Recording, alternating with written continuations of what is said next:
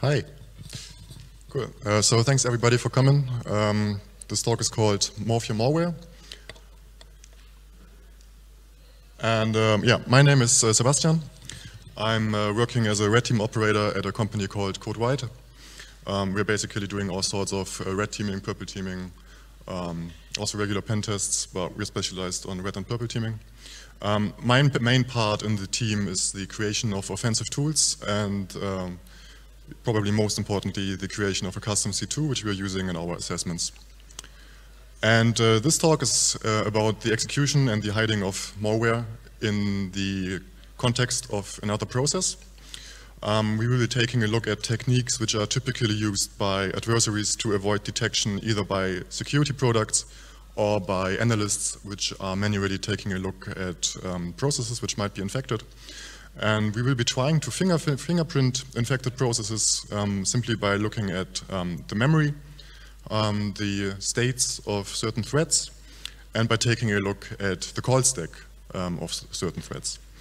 Um, I then show you, uh, or I will try to give you an idea of how to avoid being fingerprinted um, by blending by blending in with false positives or by using a bit more advanced techniques. So two slides of general talk. Um, why does it actually matter? Um, for us, red teams, um, protecting and hiding our tools definitely has priority for two reasons. The first reason is that we obviously do not want to get caught. If we get caught, um, then the operation is pretty much ruined. We didn't fulfill the goal. Um, the second reason is that custom tooling is quite complex and also precious. Um, those of you who are developing their own C2 know that it's a quite painful task and it might take ages uh, to, to achieve it. Um, dropping tools on disk is obviously considered an OPSEC fail. Um, operators um, tend to forget their tools on disk, which is a big problem because uh, uh, security solutions are really good at analyzing stuff that you ever put on disk. Um, but even more important, like for real operators forget what they stored on disk at some point. Um, the thing with in-memory malware is that it needs a host process, otherwise it wouldn't work. Um, you cannot simply choose any process that you like, uh, notepad.exe for example, that doesn't make any sense. Why?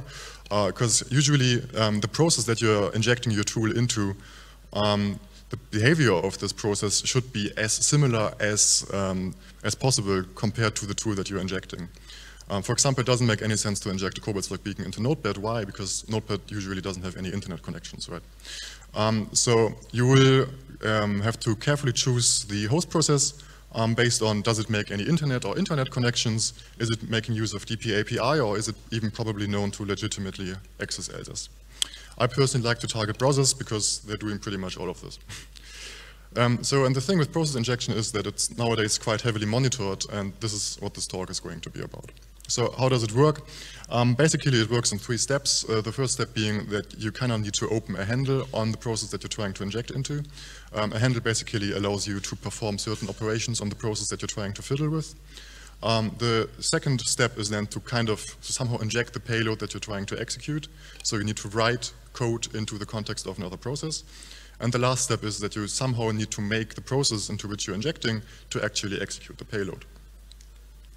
Um, so once again, first step, handle creation. Um, the most obvious way to do this is to simply make use of an API call called open process. You specify a PID, you specify a process access mask, um, and depending on if you have the right, the right um, permissions on the process that you're trying to access, you will be given a handle. There are a bunch of problems with this approach. Um, the first, or the big problem is that um, upon process access, there's a, there's a kernel callback meaning that um, the kernel is going to notify every single driver which is subscribing to this kernel callback about this process is actually opening another process with this access mask. Um, which makes um, the creation of a new handle quite easy to observe for security products because of this kernel callback.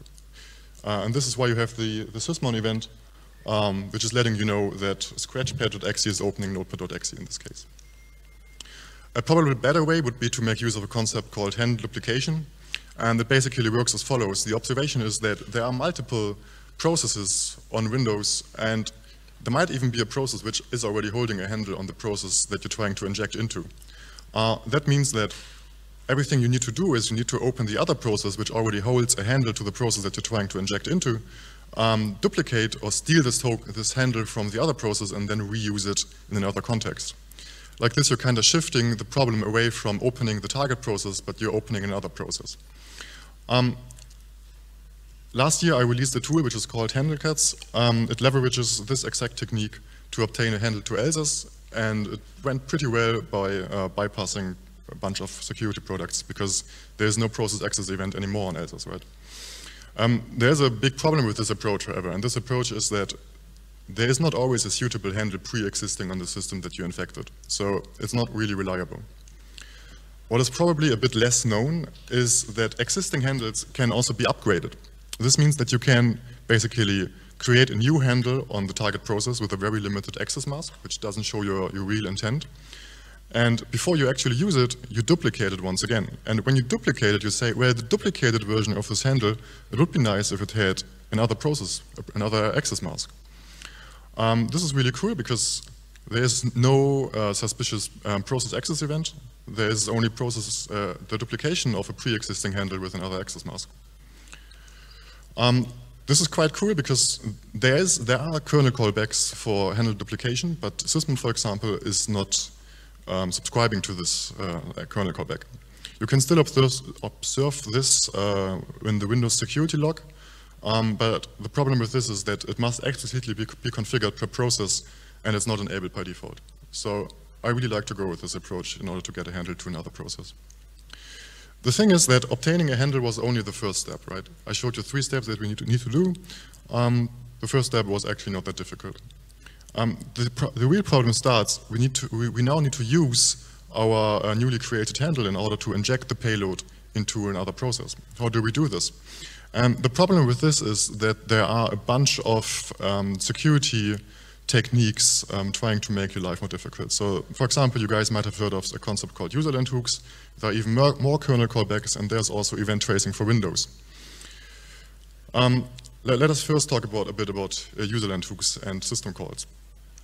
This is a quite old concept, and it's being widely used and exploited in the security scene, but for those of you who might have never heard of, uh, two slides of, uh, of theory. Um, the thing is that antivirus really like to redirect the execution flow of sus suspicious API calls. Um, they do so so that they understand when a certain A API call was used by a process and with which parameters it was used. Um, they do so because um, they do not really have any other chance to understand when a certain API call is used. There are not, there's not a kernel callback for every single system call there is. This used to be true. Uh, we will later get um, to how it is nowadays. And the thing is that system calls, which are usually used for process injection, are obviously hooked because the antivirus product is quite interested in why this API is actually used and how it is used. So basically, um, basically, um, if you're making use of, if, if you're trying to uh, create a remote threat, the malware is going to uh, go through the abstraction layer in the kernel 32 DLL, which is then calling um, something in the anti-DLL, and the anti-DLL is, is, then going to perform the system call for you. Yeah. Um, if there's a userland hook in place, um, the first steps are similar. You still go through kernel.dll, you, you then go to anti-DLL, um, and last but not least, you end up in the antivirus DLL, which is then doing some analysis for you.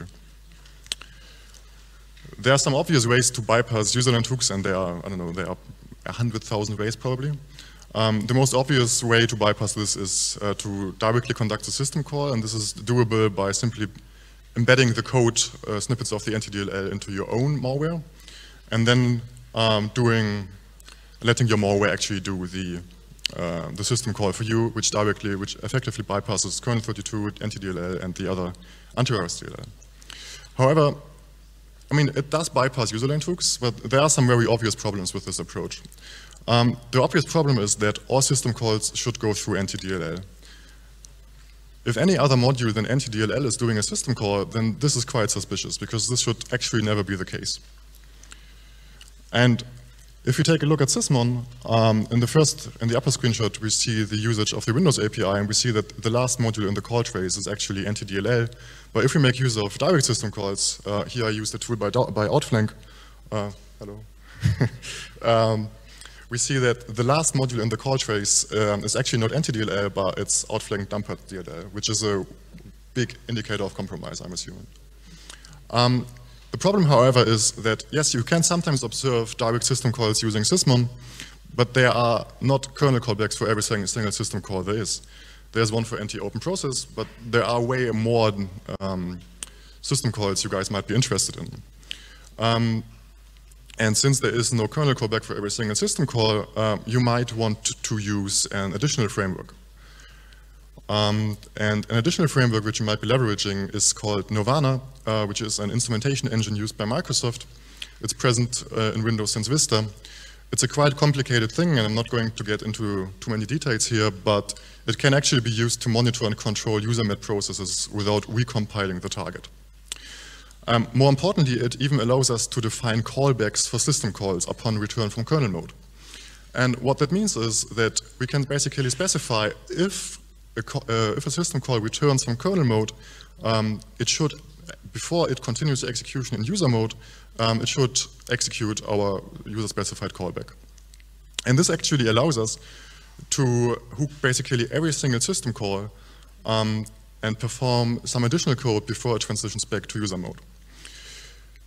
More importantly, it allows us to check where the system call is returning in user mode. If it's not returning to somewhere in NTDLL, then this is obviously an IOC. And there's a really cool sample implementation by WinTernal, and if we make use of um, this implementation, uh, again, against uh, outflank dumpet, um, the implementation by WinTernal, I, call, I think it's called syscall detect, is immediately complaining that uh, the kernel returns to an unverified module and it's going to, uh, to exit. So this can actually potentially be used by security products in order to identify direct system calls. Uh, it's just that the performance overhead might actually be a, a big issue here. Um, so, okay, so what can we do against this? Um, obviously, we need to make sure that our system calls go through NTDLL and bypass userland hooks at the same time. And the cool observation is um, that an antivirus product does, of course, not hook every single system call there is, otherwise it would also run into performance problems. Um, it only hooks those system calls it's actually interested in. Um, this leaves us to the observation, or this brings us to the observation that some system call stubs are simply not hooked because the API calls are simply not interesting enough. Um, yet, all system call stubs do pretty much the same thing, but they use a different system call number. So basically, they move the system call number to EAX and then perform the system call by syscall ret. Uh, what can we do? Um, the idea could be to first resolve the system call number um, by using a technique called Halosgate, uh, which is by uh, Sector 7. And then we initialize the system call manually, and then we reuse uh, existing syscall ret instructions from a clean system call stub in order to perform the system call. So we basically jump um, to a very certain location of a clean system call stub, which is the system call ret instruction. We basically reuse these instructions um, from a clean system call stub. So, uh, I'm a paint master. Um, we first set up the registers, um, then we kind of reuse the stub, once again, meaning that we choose a clean system call stub, which is not hooked, and then reuse the system call ret instructions from there, which effectively bypasses the userland hooks, and we're going through NTDLL at the same time. Um, I wrote a small implementation for this. You can find it on my GitHub. And if I make use of this and I, let, uh, I use the syscall detect tool at the same time, it's not complaining. Why is it not complaining? Because the system calls, they all return to NTDLL. Um, and you see on uh, in Sysmon, the last module on the call stack is NTDLL. There are still some IOCs though. Um, because usually system calls go through kernel-based DLL and then to NTDLL. This is the first IOC. the second IOC is that, yeah, the system call returns to NTDLL, but it does not return to the correct stub, which is associated with the executed system call. And by leveraging hooking Nirvana, this might be an, an idea in order to leverage this. Cool. So userland, hooks are still a thing in 2022, actually, and I was quite surprised about this um, because I thought it's like a relic from the past, but that's not the case. Many antivirus uh, security products still rely heavily on them, and the question is why. Um, the first reason is that monitoring from kernel only can cause stability issues, because uh, if you uh, fuck up your kernel driver, then your client uh, won't be protected, but have a, has a blue screen.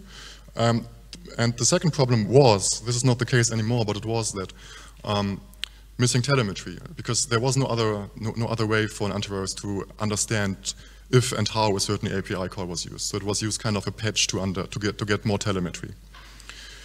What matters from the attacker's perspective is basically that userland hooks are not a problem. They can always be efficiently and stealthily bypassed, and GitHub is full of userland hook bypassing techniques. Cool, so now we should be able to conduct memory operations on the remote process with the handle we gained earlier in a very stealth way. So we should be able to inject our payload using every single API call we want. Is that true? And the thing is, we still need to keep some, mind, some, some facts in mind, because some system calls trigger a kernel callback, as I was saying before, and others can actually be, be observed by ETW, because there's a ETW provider which many um, security solutions have begun subscribing on, and it's called the Microsoft Windows Threat Intelligence uh, ETW provider.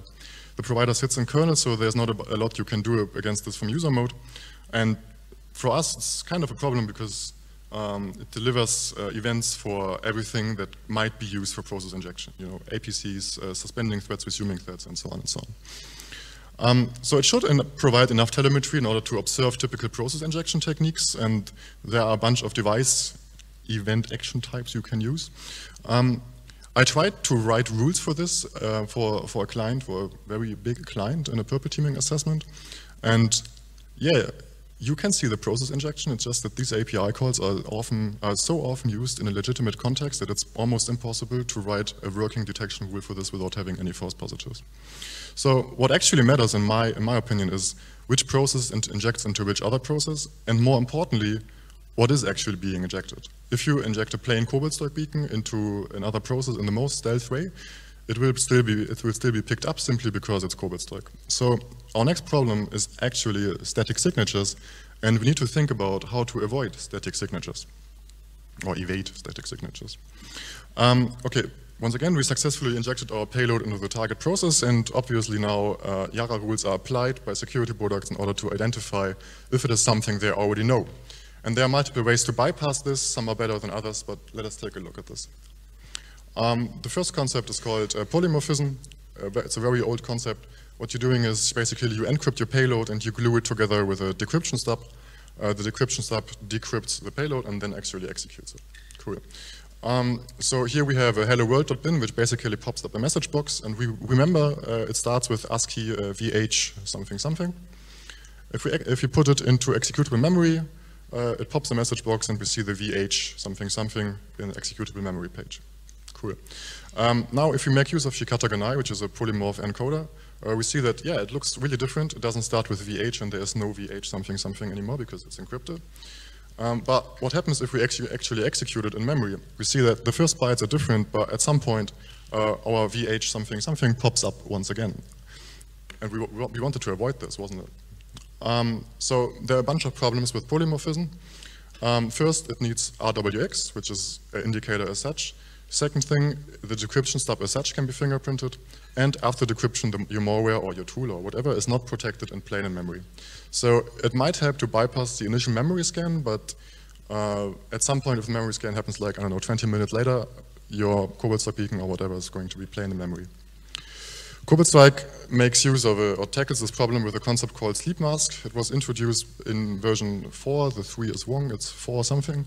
Um, and the core idea is actually quite simple. Um, the observation is that a beacon basically spends most of the time sleeping and waiting for new commands. So what you can do is, while sleeping, sleeping the beacon actually obfuscates and encrypts itself in memory while it is sleeping. And you must be quite unlucky if um, the memory scanner hits you right in the in the situation where your beacon is active, because usually a beacon is active only for, I don't know, a fraction of a second or something like that. There are some limitations with this, however, because the first limitation might be that the sleep mask itself can be fingerprinted. You can customize this in Strike. And we also have other memory artifacts which we will, which we will take a look at later. I, however, like to use another concept and the idea is to change the appearance of a program on instruction level. If we change the appearance of a program on instruction level, uh, we do not need any encoding or encryption or whatever, and we do also not need any RWX because we're not encrypting anything. Um, there are multiple ways to achieve this. Um, one way to achieve this is to substitute instructions with a sequence of instructions which lead to the same result, yet these are other instructions.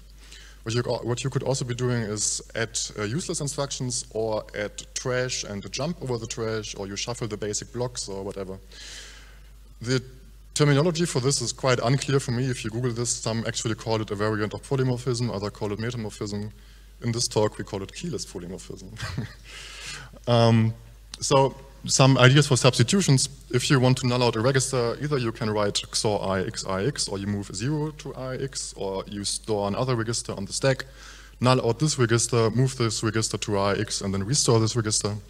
If you want to jump to RCX, you could also write push RCX and then return, where push RCX could also be written like this. So there are a bunch of ideas uh, or instructions which can be substituted with an equivalent of other instructions. Um, by adding trash, as I said, um, basically you add complete trash bytes or instructions which don't make any sense at all, and you add a jump over the trash.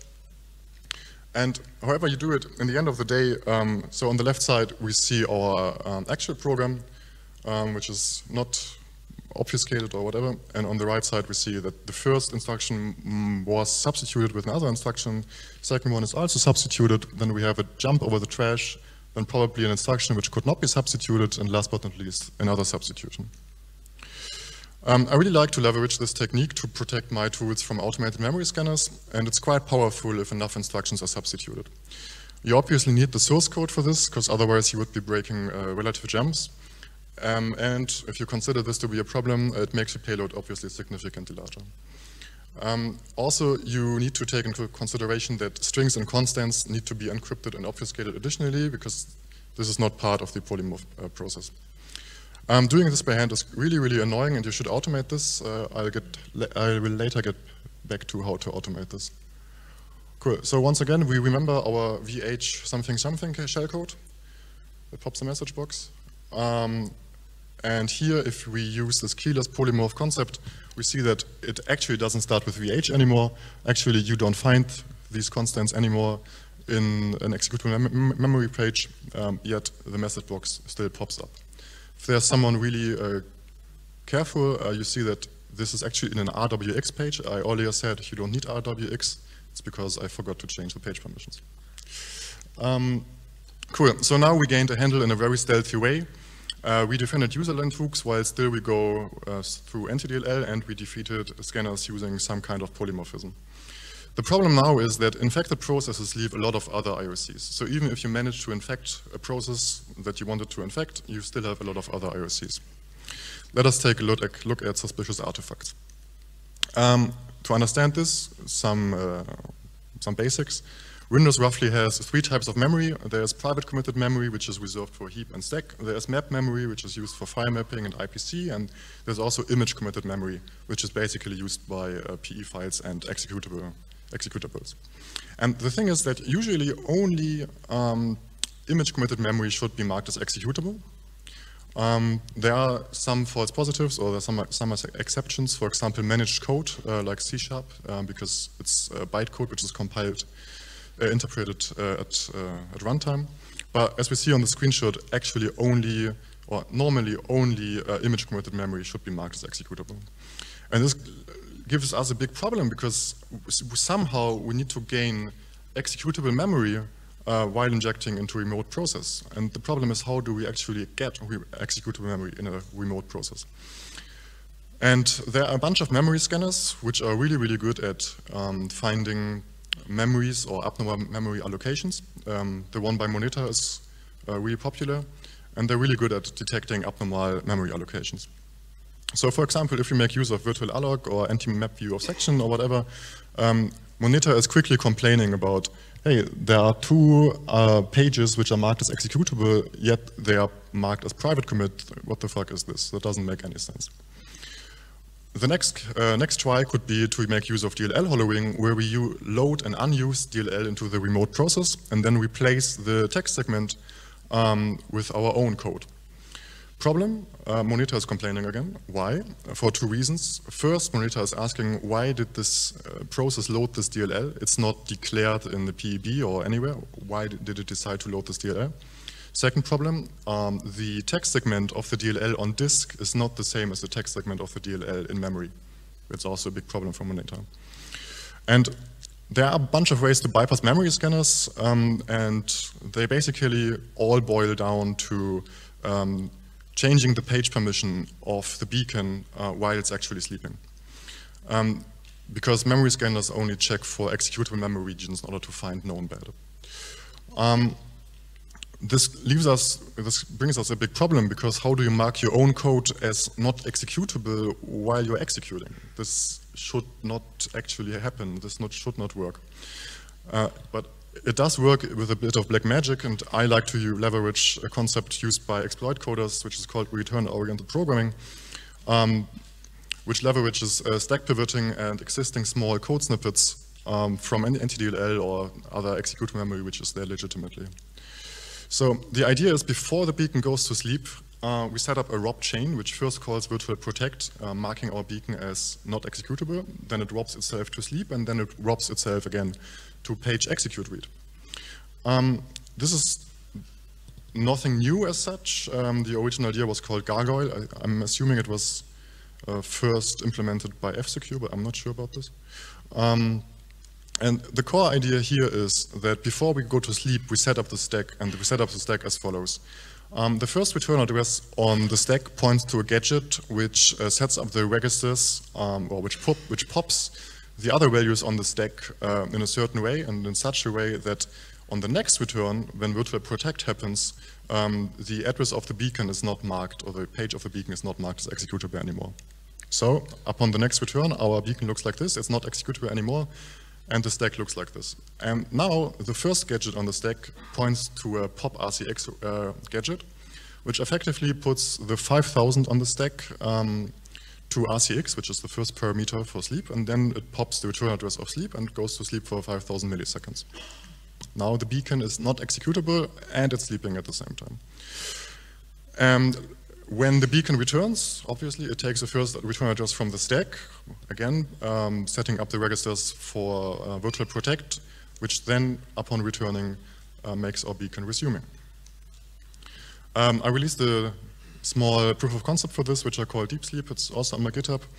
Um, while it is active, it's actually popping a message box, and Moneta complains. Why? Because there is private executable memory or something. Um, but while sleeping, we see that the page of uh, deep sleep is actually marked as not available or execute uh, read only. Yeah, read only makes sense. Um, so we bypass memory scanners looking for executable memory. There are a bunch of other implementations. Um, they all boil down once again to the to the same idea, which is changing the page permissions while sleeping. Um, there's one by uh, Cracked Spider. There's one by SecIdiot called Foliage. Um, yeah, but they are all pretty much boiled down to the same idea.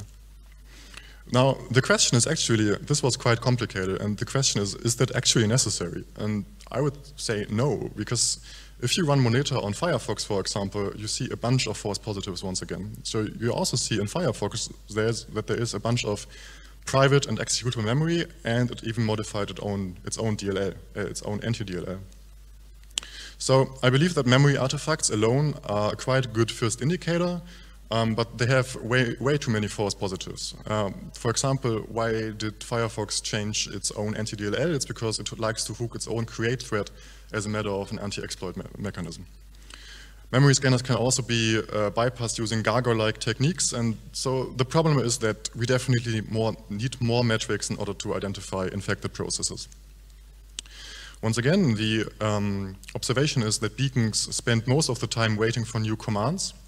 And what developers really like to do um, to make the beacon sleep is to simply call sleep. This is really obvious, right?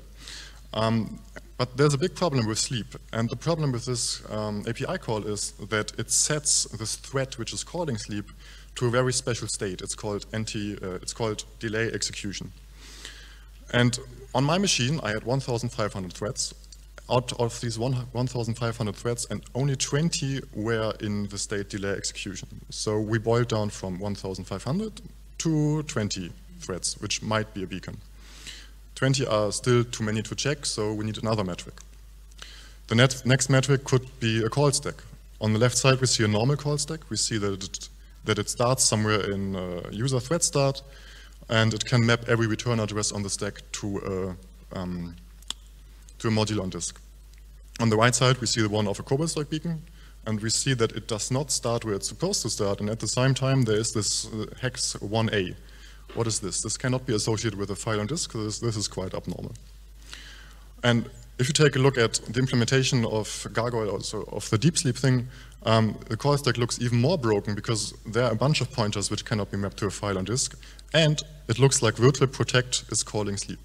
If you show me a developer who does this legitimately, I want to talk to him. Um, so yeah, call stacks are also a thing. And now the question is, out of the 1,500 threads I have on my machine, how many of these are in delay execution and have a stack trace to delay execution which contains unknown or tempered regions? The answer is only one, and it's a beacon.